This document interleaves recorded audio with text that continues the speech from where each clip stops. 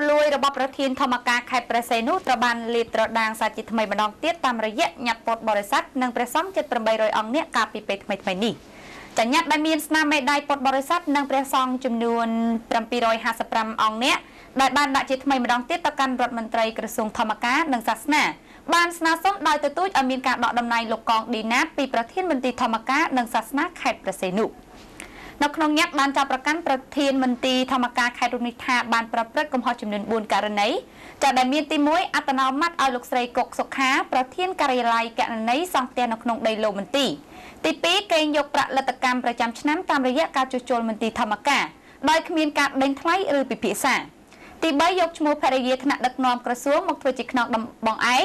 ចាដើម្បីគម្រាមមន្ត្រីក្រមអាវ៉ាត់ឧទាហរណ៍ដូចជាលោកសាំងស្រស់ អនុប្រធានមន្ត្រីនិងលោកខឹមសំណាងប្រធានការិយាល័យពហុសាសនាត្រូវបានគេបណ្ដេញចេញ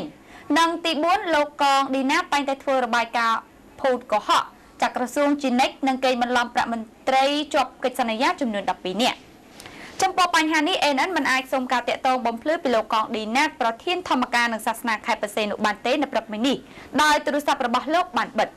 ចាដោយឡែកលោកសេងសុមនីអ្នកនាំពាក្យក្រសួងធម្មការនិងសាសនាក៏មិនអាចទំនាក់ទំនងបានដែរកាលពីព្រឹកមិញចាដោយទូរស័ព្ទចូលជាច្រើនលើកតែពុំមានអ្នកទទួល។